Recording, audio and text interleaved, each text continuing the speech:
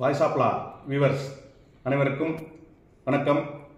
சென்னையில் புயலின் காரணமாக பெரும் மழை பெய்து வெள்ளங்கள் போய்கிட்டு இருக்குது இந்த புயல் மற்றும் மழை எல்லாம் வந்து சீக்கிரம் முடிந்து மக்கள் இயல்பு நிலைக்கு திரும்ப வேண்டும் அப்படின்னு இறைவனை வேண்டிக்கிறோம்.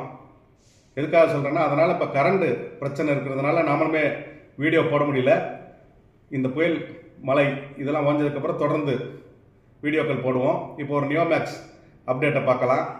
இந்த நியோமேக்ஸ் வழக்கை பொறுத்த வரைக்கும் கும்பகோணத்தை சேர்ந்த கௌதமி அவங்க வந்து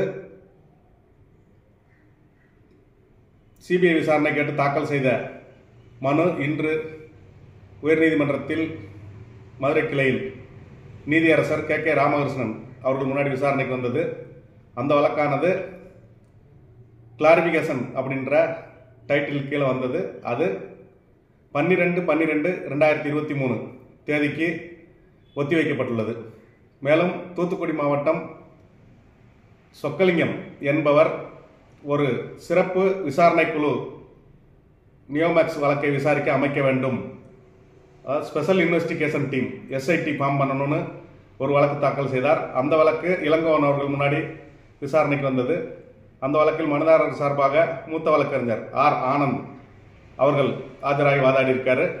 அந்த வழக்கானது அந்த சிபிஐ வழக்கின் தீர்ப்பு என்னன்னு பார்த்துட்டு அதுக்கப்புறம் தீர்ப்பு சொல்லலாம்னு சொல்லி நீதிபதி சொல்லி பத்தொம்போது பன்னெண்டு ரெண்டாயிரத்தி இருபத்தி மூணு தேதிக்கு ஒத்திவைக்கப்பட்டுள்ளது தொடர்ந்து பார்த்துட்ருங்க நன்றி.